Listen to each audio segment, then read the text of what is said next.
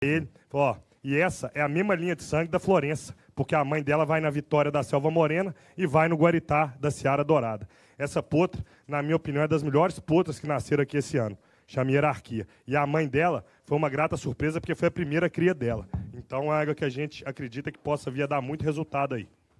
Só parabéns queria, pra quem Serginho. indicou e parabéns pra quem Pra comprou. quem comprou, É exatamente. verdade, né, mas é uma bela putra, bela Ô, aquisição. Tomás, Eu só mas- queria fazer uma Parabéns, observação, Serginho e Flávio, da importância da matriz. Gente, nós estamos vendo uma égua que pariu. Olha só, isso é uma matriz e olha a qualidade da potra que essa matriz pariu. Ô, gente, a gente tem que acreditar em